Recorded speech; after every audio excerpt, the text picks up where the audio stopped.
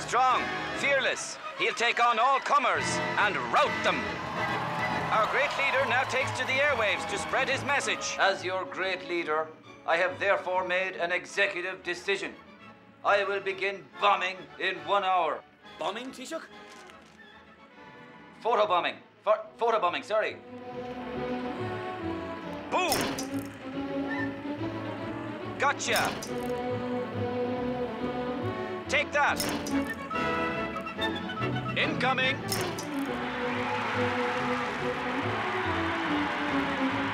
The great Enda clearly has them under his spell. His people transfixed by his intoxicating charisma. They hang on his every word.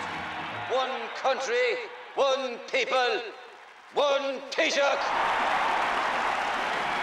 These cuts will be painful, but only through cuts can we be cleansed of pain. More pain, more clean. Cleaner, painer. Clean, pain. I said I wouldn't debate because I'd only embarrass them. And our five year campaign of national embarrassment will carry on. I will embarrass them. I will embarrass you. I will embarrass us.